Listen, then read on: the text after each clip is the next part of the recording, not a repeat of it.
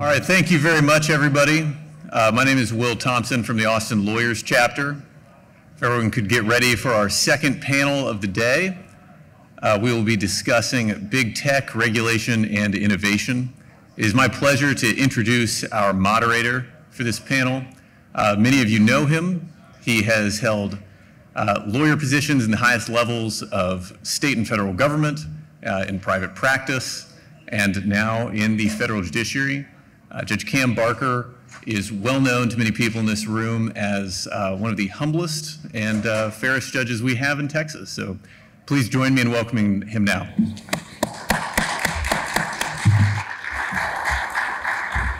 Thank you, Will. It's a pleasure to be here with this panel of four distinguished commentators. Let me introduce them briefly, and then I'll open with some questions to each, to the panel, and then we'll entertain some audience questions as well. First, to my immediate left, David Axelman has just been hired as the General Counsel for the Florida House of Representatives. For the last two years, he was the General Counsel for the Florida Department of Business and Professional Regulation. There, he managed the legal operations of Florida's primary business regulatory agency, whose jurisdiction covers the alcoholic beverage, tobacco, hotel, restaurant, and other industries, as well as more than two dozen licensed professions. To his left is Richard Deulofeut. Richard is the vice president at Trust Ventures, where he helps venture funds deal with uh, and review the operations of early stage companies involved in areas of complex regulatory risk, ranging from the energy sector to elder care services. Prior to his time at Trust Ventures, Richard was a venture associate with the Innovation Fund at the University of Chicago and Tusk Strategies. To his left is Chris Grieco. Chris is general counsel at Fei Labs, a crypto startup working on decentralized finance. He previously held multiple high level positions in the federal government, including in the White House Counsel Office, as a federal prosecutor in the Eastern District of Virginia, and as a counsel on the House Judiciary Committee. Most recently, he served as an associate deputy attorney general at the Department of Justice, where he helped lead the department's technology review. And to his left is Scott Keller. Scott's the co-founder of the national litigation boutique Lehotsky Keller. He's argued 12 cases before the U.S. Supreme Court and many other appeals in courts throughout the nation. Before founding his firm, Scott chaired Baker Bott's Supreme Court practice, served as the Solicitor General of Texas, and was Senator Ted Cruz's chief counsel in the Senate Judiciary Committee. The topic of today's panel is regulation versus innovation, tech disruption, and the state's response. Richard, let me start with a question to you. From your experience at Trust Ventures, can you walk us through some examples of what sort of regulatory hurdles and risk are facing some of the early stage companies that you advise? Yeah, absolutely. So I probably come at this a little differently than other folks on the panel since I'm really coming at it first from an investor lens. And then we go and offer our regulatory strategy services to the early stage companies we're, we're investing in.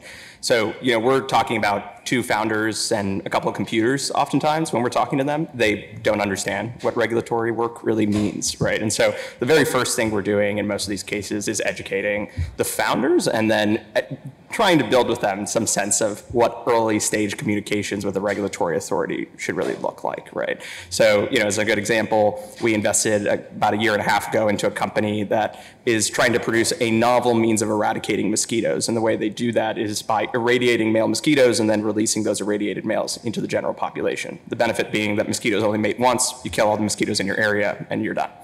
Uh, the question is, does that count as a pesticide? So, you know, the interesting thing for them is I don't think the founders ever considered that question until they tried to go sell their product. And, you know, some distributor said, well, do I need to have, you know, specific folks go out there and because I'm worried about, you know, X, Y, and Z rule in Georgia for pesticides. And, you know, the founder kind of paused and didn't know what to respond to that because I don't think it had ever occurred to him that that was something he was going to have to deal with. And so we walked in, we started building a strategy with them, and within a couple months, we had responses from the regulatory authorities in California and Georgia and a few other states that clarified the question. And then they were greenlit. So, you know, those are the kinds of basic things that we do on the front end. The harder things is when the regulator is potentially going to give you a response you don't want. And that's really where we start coming in and offering the more creative solution building, right? Um, that is hard if you've already had a conversation with a regulator. So that is why we do the work that we do so early in the company's existence. Because if you are going and having a conversation with, say, the FDA, and you want to claim that you don't fit one of the medical ca- device categories that they lay out up front, well, you better not respond and say, yes, I agree with you, right? That's a bad thing to get started. But early stage companies, they just aren't thinking in that lens. And so a lot of what we're doing is helping them set out those goalposts so we can see the probability of winning on each of these different opportunity sets and then deciding where do we go put those resources. Um, you know, generally speaking, I think a lot of people also go and forward and ask us like, well, would you change regulations? We've done that in certain cases. Um, we've worked on things like televeterinary medicine regulations in, you know, Florida, for instance, and, you know, we'll do those things where it makes sense and where we can tailor our ask. But the very first thing we're doing is sitting down with our founders and trying to figure out, is that a good spend of time, resources, and does it really matter to you? At the end of the day to lose the state or to not. Um, and you know what we typically like to do is go and start a front end strategy of coalition building. Can we get Walmart on board? Can we work with the veterinarian association to potentially get to a solution that's more accommodating for both parties? And then we'll move forward from there. Um, but you know, I would say it's pretty broad ranging. I, I, don't think there's like one particular ask that can fit every single company. But I will say one thing that I have discovered from the regulatory perspective that's always important to think about, especially with innovating companies, is they are probably not thinking about all their unknowns, right? And so it's really our job, and it's the job of every attorney that's sitting next to them, and really trying to help fill in those gaps, even if you're just flagging them, right? It's it very much is issue you know, you know, issue spotting from law school, except to like quite an important degree, right? Because this is potentially the difference between the start of failing or, or, winning. If a company doesn't have a strong regulatory strategy from day one, they can probably get like $2 million to get their initial company off the ground, but I bet you they're not going to raise their next 10, right? And so the question is like, how do you push them forward in a way that gives them the opportunity to do that? So that's generally speaking the kind of the range of things that we see. Yeah. Richard, you, you just mentioned the companies you're advising interacting with state regulators. So let me turn to David. David, you just wrapped up your two years working in Florida's primary regulatory agency. Can you describe what consideration did your agency give the impact on small businesses, disruptive tech businesses, when it was considering a new regulation or modifying a regulation? Sure. Well, uh, in Florida, we try to do whatever we can not to impose unnecessarily burdensome regulations or unnecessary barriers to entry into certain professions or industries. Um, and that's reflected not just in our mission statement as an agency and not just in order to make sure we're staying aligned with the governor's priorities, but that's even reflected in our Administrative Procedure Act. So, for example, anytime a Florida agency is going to create a rule, it has to consider whether that rule is going to have an adverse impact on small businesses and also whether that rule is expected to increase regulatory costs by a certain dollar amount over a certain number of years. And if the answer is yes, then we have to complete what's called a statement of estimated regulatory costs, which includes an economic analysis, and you've got to consider lower cost regulatory alternatives. Um, and there are consequences if you don't do that because our APA says that the failure to do that is a material uh, violation of the rulemaking process and your failure to prepare that economic analysis can actually potentially be used against you in a rule challenge down the road. Uh, so we take that stuff seriously.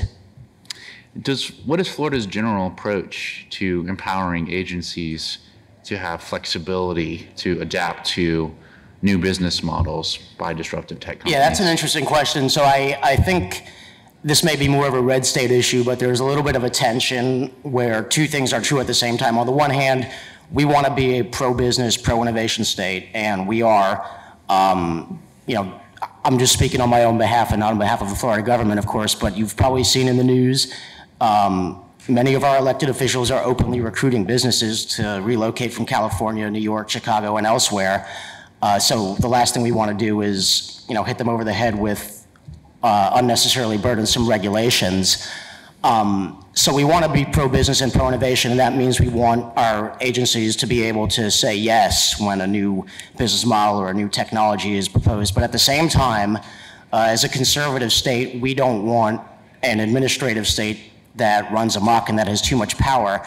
So we actually confine our agency's rulemaking authority uh, in pretty significant ways which sometimes, you know, the idea is we don't want an agency to get in the way by saying no, but there may be unintended consequences where that also makes it harder for the agency to say yes because you're not giving them the rulemaking authority that might be necessary to approve a certain regulatory model. So at least in Florida, there's maybe a little greater than average incentive for companies with disruptive business models to seek legislative change as opposed to regulatory change?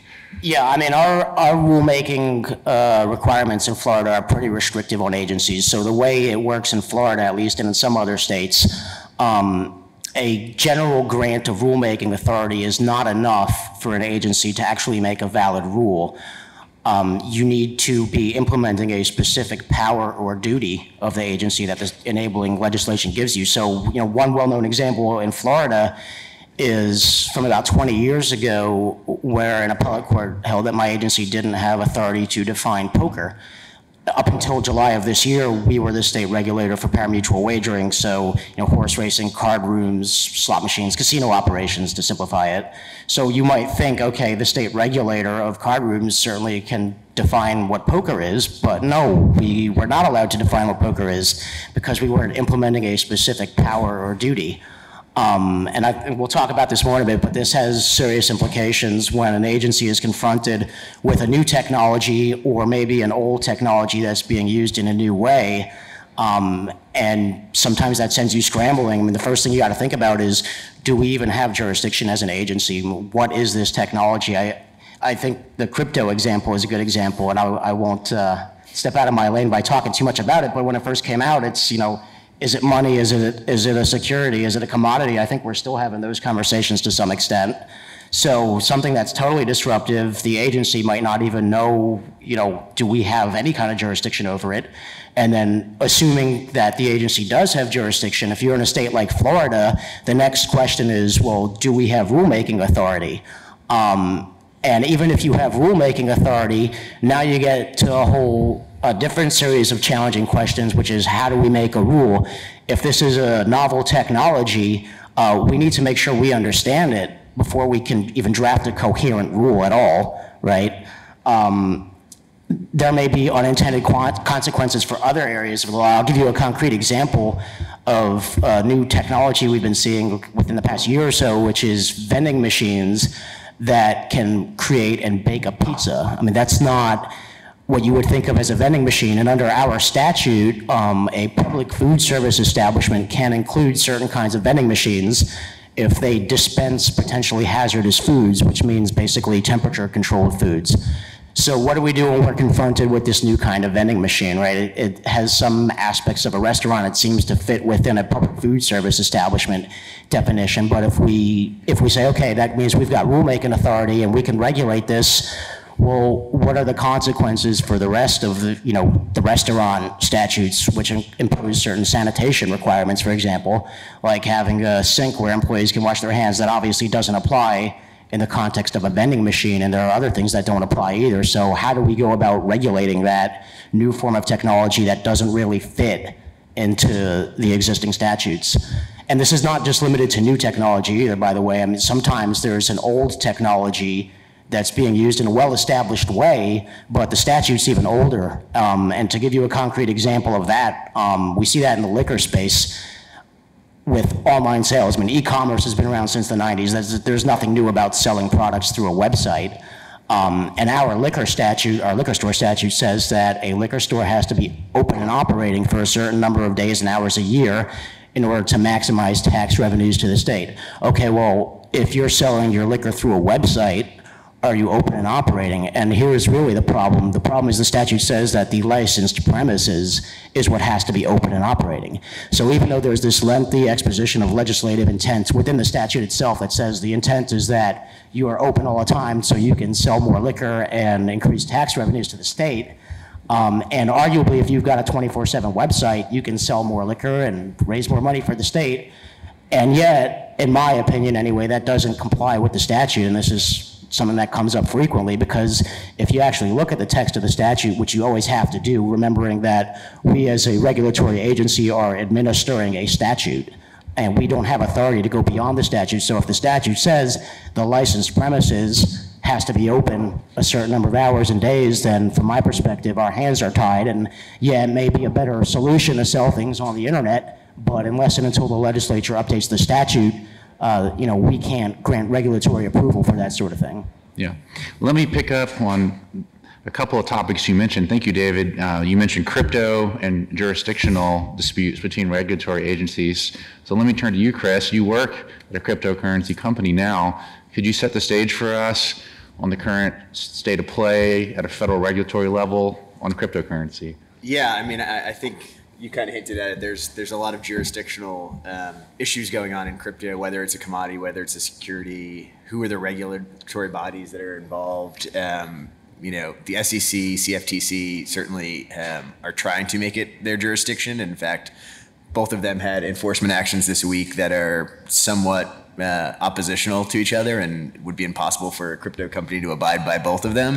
Um, and at the same time, there's also a lot of stuff going on in, in the state sphere. Um, there's a lot of states that are being proactive and kind of recruiting crypto companies and, you know, ostensibly trying to set up uh, you know the equivalent of like Delaware corporate corporate law for for crypto companies uh, in an, in a way to entice them to come.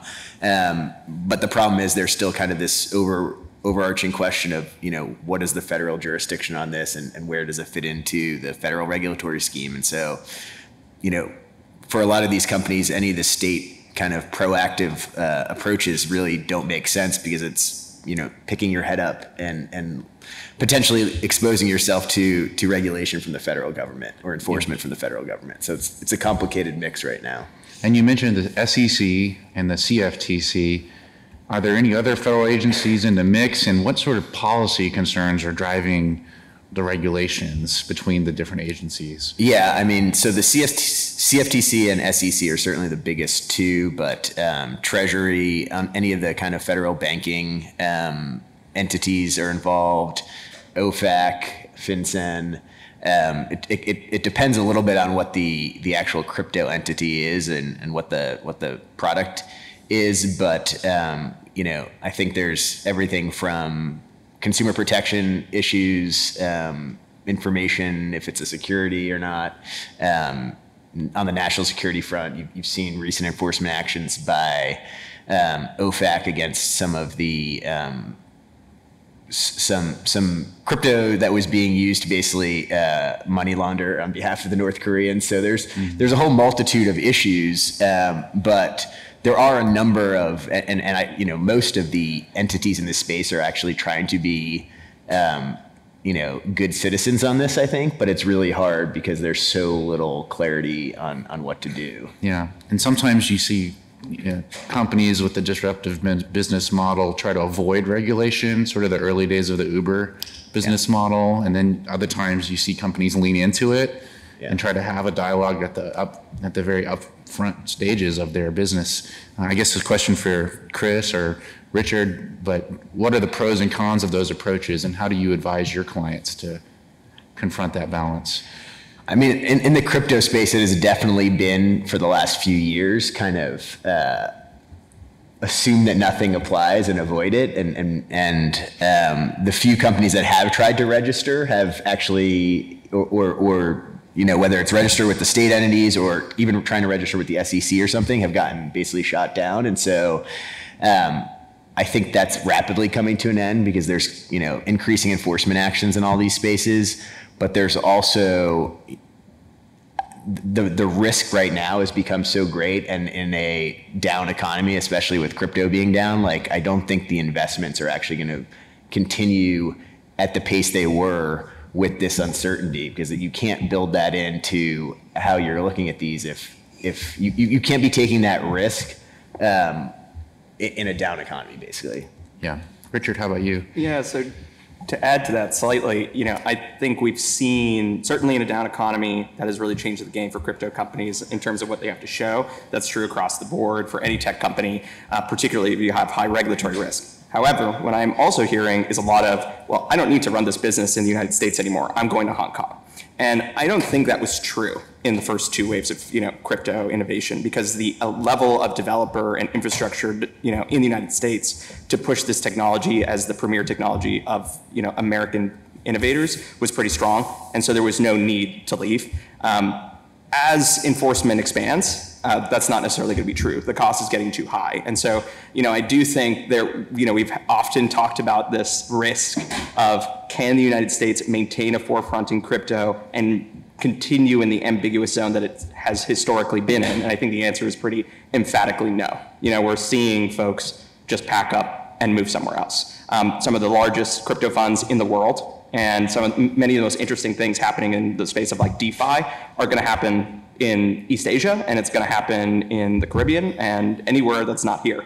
Um, and we're going to see the impact of that on the crypto space eventually. Um, I still think the United States has a chance to reverse course on that, but it is quite interesting because from our standpoint, uh, I think as investors, we're actually getting more comfortable with that. Is the answer now just go do this somewhere else, and we'll let the United States kind of fight out to some level of stability and understand what we're at least up against before we go forward with a, a pretty pro-US strategy and then end up in a world like Coinbase, but I'm not going to have any of the funding of Coinbase to go, you know, have a conversation that lasts three years with a, with a crypto regulator. That's a really tough thing to ask from an investor standpoint. Right. So Scott, let me turn to you. We've been talking so far about the strategies of, of both regulators and of attorneys who are advising companies with um, disruptive business models to confront regulatory obstacles through negotiating with regulators, through figuring out jurisdictional issues. Another strategy for addressing regulatory hurdles is, of course, litigation, area with which you're well familiar. Uh, I looked at your firm's website, and the first bullet point on the What We Do page is we litigate challenges to federal, state, and local laws and regulations. So, can you share some examples with us of some of the regulatory issues that you've addressed through litigation? Yeah, absolutely. And it, it's great to be back uh, with you among so many mentors and friends. Uh, we have been very fortunate in starting our firm just a year and a half in to uh, be able to work with some amazing lawyers and uh, have clients and cases that uh, are in the headlines and are giving us the opportunity to to bring all those various challenges. So, you, know, you talk about the federal level, you talk about the state level, you talk about municipality levels. We uh, represented 26 business associations challenging the Biden administration's OSHA vaccine mandate. We're currently representing Tesla, challenging Louisiana law that prohibits Tesla from selling cars directly to consumers. We are currently representing Petland up, uh, suing the city of Dallas over an ordinance about when you can sell dogs. So that, that's all to say that you know it's in our DNA uh, that government regulation that our clients and businesses face that when there are legal issues that can be brought to bear,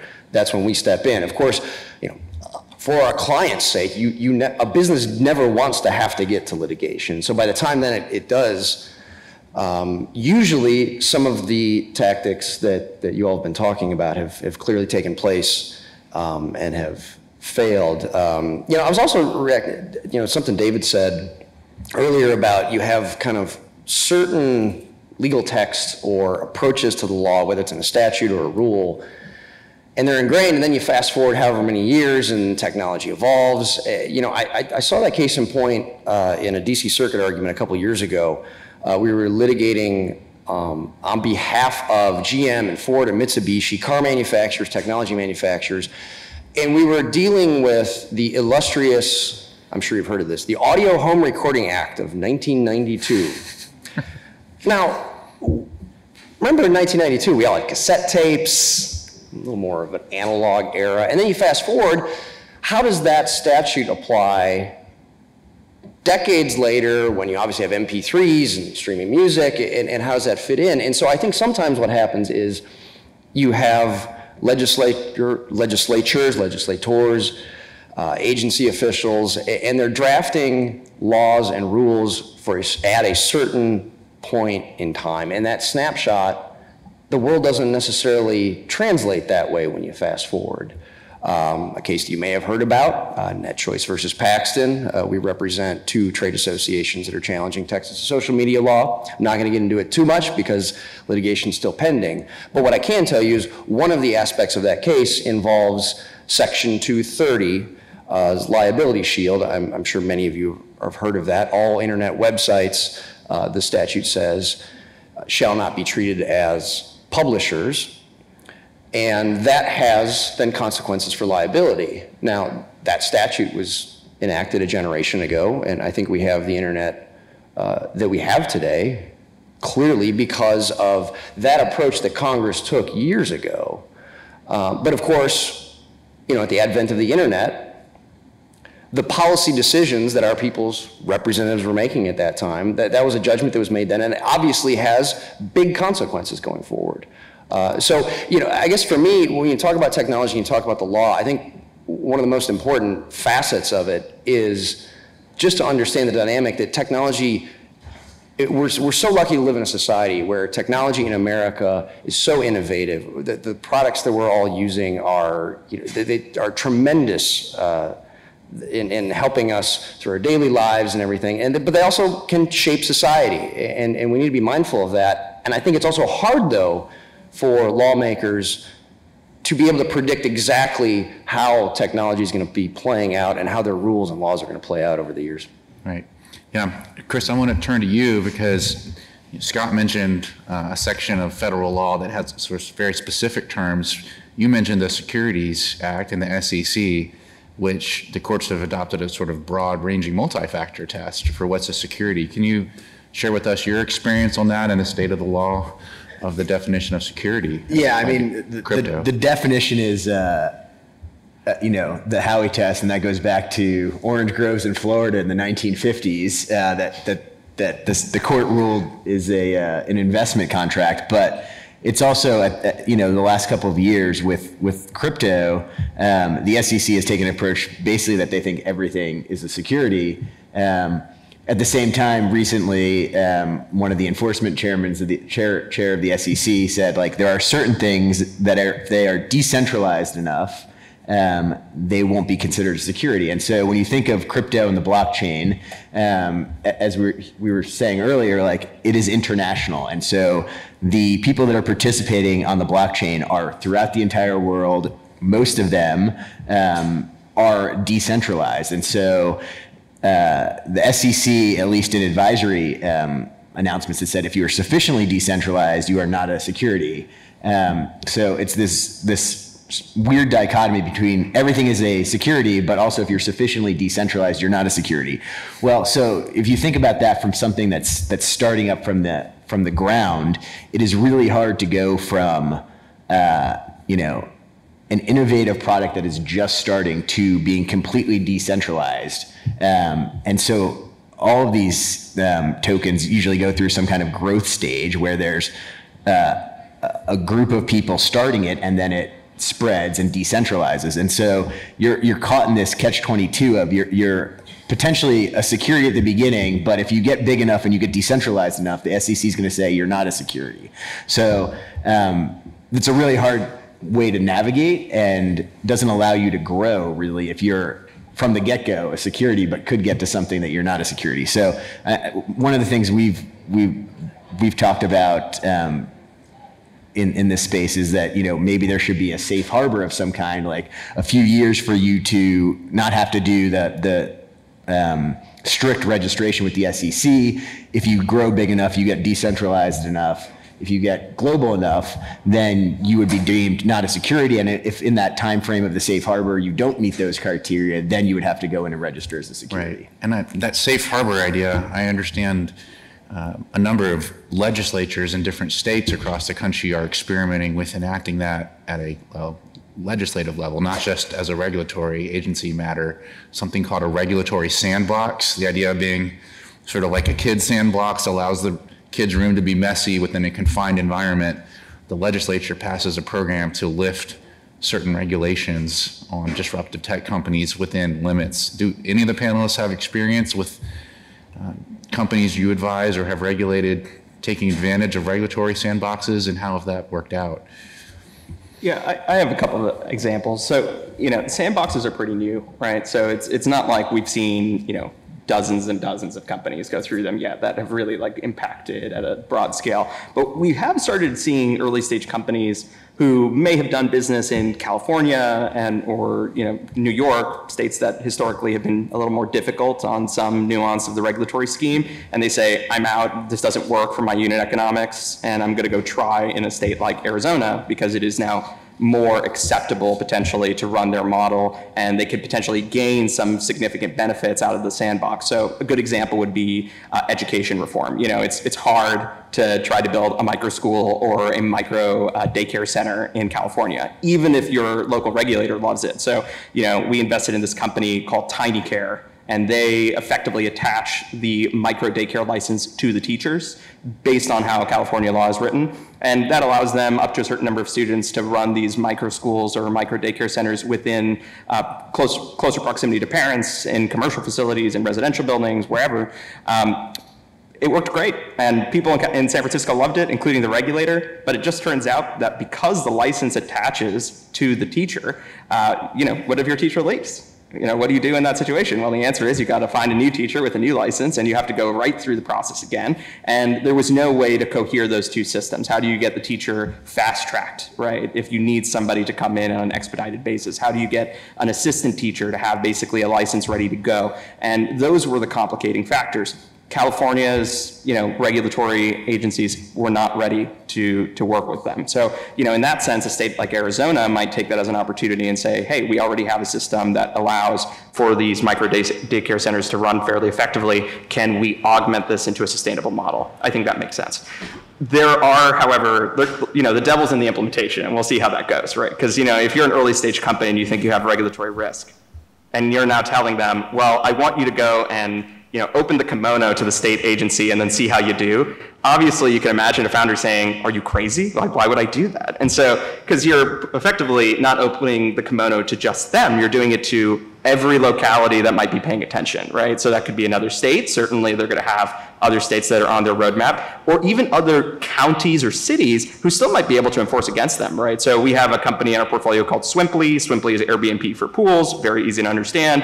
And guess what? Like, you know, the cities are the biggest problems. It's really not the states. And so even if you're working on things like what is counted as a public pool, that's not necessarily going to save them from zoning restrictions, right? And so, you know, they have difficult mixes of, of interests, right? And in that sense, it's not obvious yet how those sandboxes are going to go work with other localities that, that might have impact and say, hey, we want to expand the pie. We want to be able to give these companies two years to run in a way that actually meaningfully impacts this company. And you know, that probably means engagement among multiple parties. Um, so, you know, we're very optimistic. I think what Arizona has done and Utah has done have been great. Um, we want to see more of that. I think generalized sandboxes are definitely the way to go. If I don't really believe in the whole like focus on one specific concept like fintech because who knows what the next wave of innovation is going to look like. Um, and you know, if you pursue that in a way that's implemented as if you are taking the founder's approach, right? Which is I have to grow this company in an X period of time, or this idea will likely not succeed long term. I think there's a lot of general good that could be produced out of it, but you know, the jury's out. We'll see. Right. So sandboxes have been justified as not only promoting consumer welfare by allowing new business models, but also promoting the local economies in the states that adopt them by attracting tech companies to do business there. Have you seen that bear out on the ground? It sounds like you have in a uh, couple of cases. Yeah, so in, in the cases where the startups are running you know, or empowering, you know, some form of small business at the local level, obviously you can talk about that impact, right? So I think an example like TinyCare is is obvious because you're seeing parents benefit, you're seeing teachers that are on the ground there benefit. There's lots of different stakeholders there. But tech is weird, right? And especially right now where we've seen this decentralization of the labor force purely because you're doing a better you know, scheme of regulatory action doesn't mean that this company is going to move a substantial percentage of their operations to this new place, right? That is a long-term game. And so I think one thing that many of these states that are building sandboxes have to think is, I'm really building a 20-year strategy to be a tech hub, right? I mean, Austin and the state of Texas have done this very well, right? It's not like they went from Dell to this in a matter of, you know, a year, right? It was a 30-year process, right? Um, Utah is doing a tremendously good job of this because if you talk about what is happening in Salt Lake City, it isn't just regulatory. Regulatory is just one prong of the multi tech development hub that they're building, which is talent related. They have some of the best developers in the business now. It's about finance and it's about showing that there are great startups that have been able to produce meaningful results locally. Um, and so I do think like it's important to kind of not expect immediate results out of a sandbox. That's not the point. You have to give them enough breathing room in order to really fit within the broader scheme of what you know a state or a city wants to see from an innovation perspective. Yeah. Uh, another concern that some commentators have raised with regulations that are outdated for modern technology is not so much the fact that they're well intentioned but outdated, but some commentators express concern about the issue of regulatory capture, that the re- regulatory bodies themselves are self interested. Um, this uh, question to the panel whether Scott, in dealing with, with litigation on the issue, or David, in dealing with a regulator, regulator's approach to the issue, what sort of legal challenges or policy safeguards are available to address the concern about regulatory capture? Scott? Yeah, so, uh, you know, I I guess I've seen both sides of what I'm about to talk about, which is if you have active market participants serving on a state commission or a state board that then regulates the industry. Uh, In our Tesla case, uh, we've pleaded in that complaint this exact issue, and it goes to a 2013 Supreme Court case called North Carolina Dental Board, where the Supreme Court held that while if you have state action, that doesn't violate federal antitrust laws. However, if you have a board with active market participants, then the state has to have sufficient active supervision over that board. In other words, you need state officials, you need government officials, not just the private active market participants, or antitrust laws will apply. And so, you know, we saw this in a case called Teladoc uh, when uh, Judge Barker and I were in the Texas Solicitor General's office. Obviously, this is playing out now um, and will play out in our Tesla litigation. Uh, but you know that is one issue that you know call it regulatory capture or call it just how commissions are structured. And I know I'm sure in Florida, I know in Texas and other states, after the Supreme Court decision came out in the North Carolina uh, case in 2013, you know there, there were various questions over. Okay, well, what is active supervision? How much supervision? What does that look like? Um, and so, how that issue continues uh, to play out, I think whether it's the businesses being regulated could potentially have legal avenues to pursue, or how states uh, and, and executive branches want to structure their own regulators. There, you know, there are very different approaches as to how you can, you know, create agencies to wield executive power. Um, and I think some states have taken a look at some of these commissions and thought, well, it's not worth it. Uh, you know, let's structure our government differently. Yeah. David, you tell us a little bit about Florida's approach to this, this issue? Does it have a sunset commission for regulatory agencies? And is there any sort of uh, periodic review to address the concern about potential regulatory capture? Uh, Sunset Review is an interesting uh, ongoing issue in Florida. Um, We, we're, we've been asked to try to sunset some of our rules, and it's not really clear whether we can do that or not. Um, It's kind of a, a bit of an open question, and I'm actually on my way out of the executive branch and into the legislative branch, so I suppose I won't say too much about that. Um, But we, you know, we try to find other ways. There was some, a proposed legislation to require agencies to review their rules uh, periodically and have the rules expire automatically um, unless they are affirmatively readopted. So, you know, we're always looking for ways to ensure that we don't have old regulations on the book or things that are impeding progress because it was written 10 years ago and it really has no application anymore. Right. And Chris, we've been mostly talking about challenges to state regulation under federal antitrust law on this sort of concerted action theory. But is there any analog to that at the federal level where it sounds like more of the regulation, potential regulation of crypto exists? Um, say that again?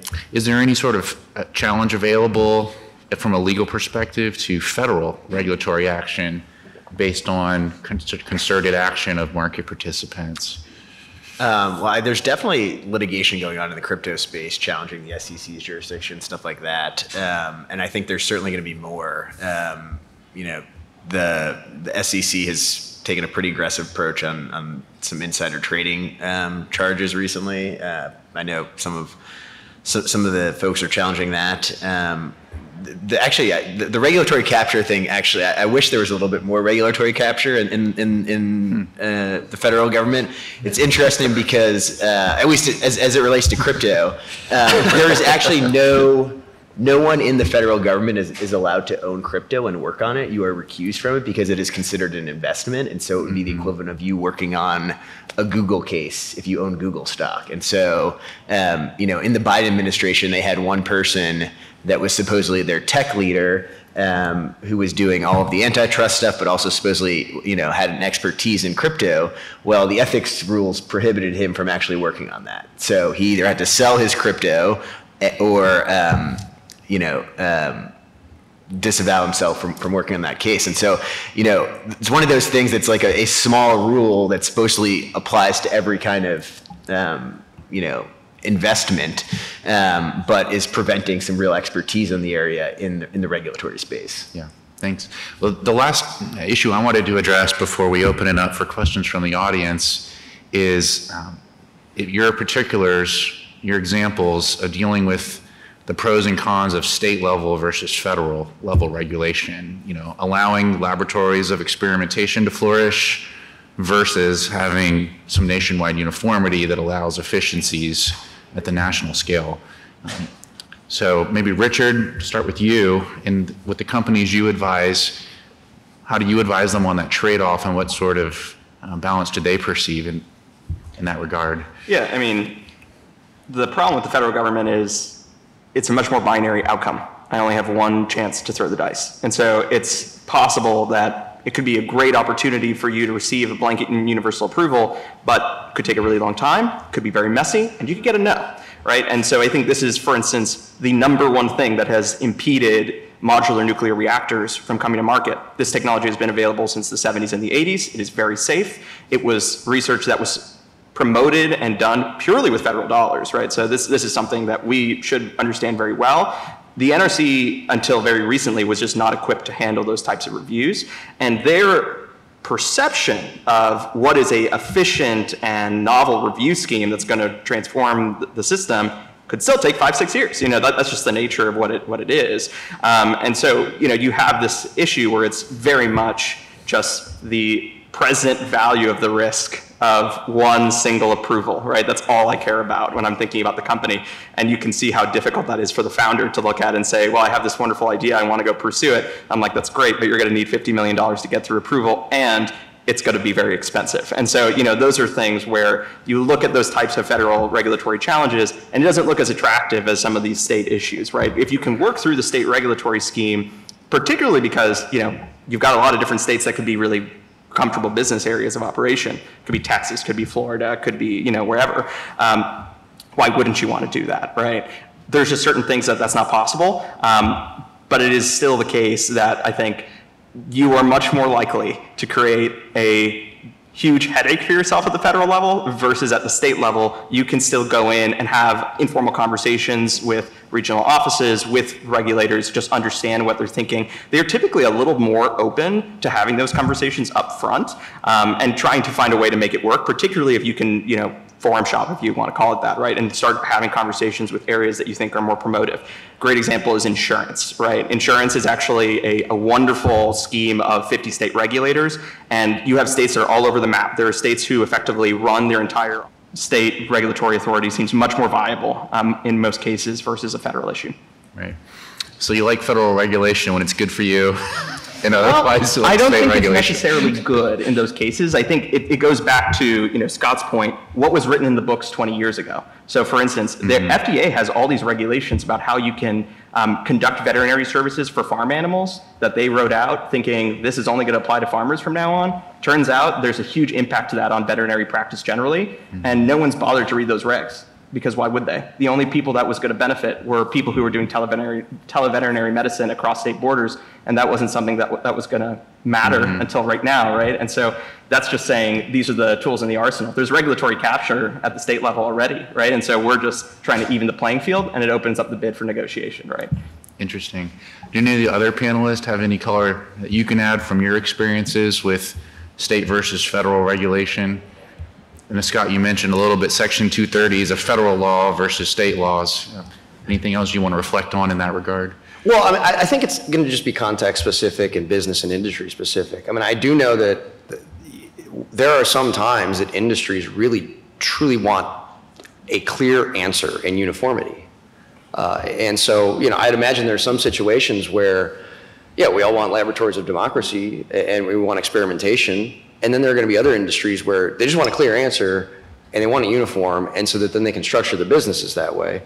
Uh, But, yeah, wh- whether you're talking about, though, federal, state level government, there's also a difference between, you know, dealing with the legislature versus dealing with administrative agencies. Uh, And I think, you know, all of those axes come to play when you're advising a business, particularly a technology company, you know, okay, how do you solve this perceived problem? And is it federal, is it state, is it, uh, you know, is it litigation or is it negotiation? Yeah. Well, I'll follow up on something Richard said uh, when he was talking about seeking informal guidance. That's something, uh, at least at the state level, uh, can pose challenges for us because, you know, we need to figure out where do we draw the line between giving informal guidance and running the risk of having an unpromulgated rule, or some states call it an unadopted rule or an unwritten rule. And the, the concept is that if, as, as a regulatory body, you have a, you're relying on a statement of general applicability about what the statute means or how you implement it, uh, you can get in big trouble. In Florida, for example, if we, uh, if we rely on an unpromulgated rule, in other words, if we are making decisions that affect people's substantial interests based on a general policy that we haven't adopted as a rule, not only can the regulated person uh, bring a rule challenge, bring a, an administrative challenge to make us stop relying on it, but we're exposed to uncapped attorney's fees. And so, in practice, what we often see is, you know, a represented party doesn't like a decision we've made or is trying to force our hand into making a decision when we need more time to figure out what exactly they're doing. And, you know, they'll have their lawyer send a letter and subtly suggest that, you know, if we're approving this type of business model, but we're reluctant to approve this other type, we must be drawing some distinction and it's not reflected in any of our rules. So, hey, you better give us regulatory approval or we're going to bring administrative action saying you're relying on an unpromulgated rule. Um, you know, and another thing I'll follow up on is this idea of uncertainty. Um, obviously, as the regulated entity, uncertainty is probably your biggest risk. Um, you might have, you, you might be subjected to a really draconian regulatory scheme, but if you know what it is, at least you can organize your business model accordingly. Um, but if you don't know how a law might be interpreted or how it might be enforced, or maybe you've brought a new product to market and only realized after the fact that now you're in trouble with the state regulators, um, there's, there's a lot of risk there, but it's, agencies have uncertainty too. I don't, agencies are reluctant to admit it, I think, when a new technology comes out or some new business model, but agencies aren't even always involved in the legislative process, right? You may have to administer a statute that was drafted without your input, and you're trying to figure out what to do with it. You don't want to announce publicly, hey, we don't have jurisdiction over this, so you can do whatever you want. So I think reflexively, an agency is going to try to exercise its authority, but at the same time, you can be sure when something new comes out, like crypto or any other kind of technology, there's a lot of internal conversations going on within the agency, and that creates inertia. I mean, the regulated party is sitting there for maybe a month or six months or two years, waiting for regulatory approval, and investors are waiting for it, and maybe a, a deal can't close until you get it. But the agency is sitting there, not, not necessarily panicking, but trying to figure out, can we regulate this? And if so, how do we regulate it? So I, I think there's this assumption that any agency that has authority always knows what to do, but that's actually not the case. Yeah. Thank you. Well, we have about five minutes left. Do any members of the audience have questions for our panelists? Hi there, William Morris. Thanks so much for being here. Um, the question regarding Section 230 litigation, it seems like big tech companies are trying to have their cake and eat it too, uh, in terms of not being held responsible as publishers, and yet also being able to censor people who use their platforms. Uh, that seems unsustainable, but it raises the, the broader policy question of which way should we go? Would it be better to have publishers uh, who are responsible for the content on their sites and then can censor those sites? Or would it be better to not count them as publishers and then to not let them censor? I'd be interested to hear the panel's responses. Thank you. Well, I guess I'll take that one. I think that was for you. Um, So, so first of all, what you've described of a, an internet where websites are not treated as publishers for, for instance, for purposes of tort defamation liability, and at the same time, they're given the flexibility to not publish speech, not disseminate speech, take speech down. That is exactly the statute that Congress passed. And there are obviously big policy debates occurring right now over Section 230, and even many of the technology companies have, have weighed in on that, saying that, yeah, maybe there needs to be some reform of 230. I'll tell you, at least our position is as a constitutional matter, the government can't tell private entities, particularly websites, what speech they must publish or disseminate. Uh, The 11th Circuit and many district courts have adopted that position. The Fifth Circuit recently created a circuit split with the 11th Circuit disagreeing with that position. So, you know, that is under active litigation. But no matter how you come out on that end, it, it's very clear that the, the liability rule for the speech that websites do in fact publish, you know, the, the, the liability provision of 230 is doing the work there. And so I, I think if you were to think about the policy debates of where all of that's headed, I mean, obviously, the uh, litigation over the constitutional issues uh, in our NetChoice cases will uh, continue. But I, I think that's where the, pol- the policy debate on 230 is going to be probably more over the C1 and the liability rule there. Thank you very much. Appreciate it. All right. Does anyone else in the audience have a question for our panelists? We have time for maybe one or two more. I guess this is a question for the litigators, um, or those have thought of litigation. It, it, it struck me that with, with tech disruption, you're basically changing the circumstances, and you have a mismatch with older statutes that contemplated different circumstances. And I wonder if you're starting to see cases where they're preserving the question of that the Supreme Court has long held that changed circumstances itself can justify the constitutional invalid, invalidity of a law. Carolene Products itself uh, reflects this, and that law um, eventually, the one at issue in Carolene Products, was struck down in the 1970s, very much on a changed circumstances theory in the Northern District of Illinois. So I wonder if some of these um, things that are floating around in the case law can be very beneficial now, and if you're actively trying to preserve these issues to get it up. Um, I realize it's very deferential and a standard, um, but there's a long doctrinal line. Just to the litigators. Well, I mean, I- there's, there's probably going to be some flexibility when you're, when you're dealing with, call it Administrative Procedure Act challenges, uh, or in challenging agency actions, and some flexibility to, to make those types of arguments about changed uh, circumstances and the, and the agency's not keeping up with the times, and they're not giving reasoned explanations, and, and, you know, why do we have this type of scheme? So, I don't know, off the top of my head, I, I think, you know, there, it, it would probably be easier to bring those types of arguments to like agency rules. I think it's gonna be harder with statutes, uh, but, uh, you know, there's, I mean, this, this also comes back to the, you know, you talk about challenging statutes versus challenging regulations. Uh, you know, as, a- as a litigator, you of course, uh, you, have many more options to be challenging administrative actions just because of how the doctrines are. And that, uh, you know, you talked about before, you know, an agency sometimes doesn't know its own authority, and then, you know, a litigator comes in and says, yeah, you don't know your own authority, and here are all the problems with it. But I do think that type of argument could come up when you're talking about particularly challenging agency action. All right. We have time for about one more question, if we can keep it short. Anyone with last questions?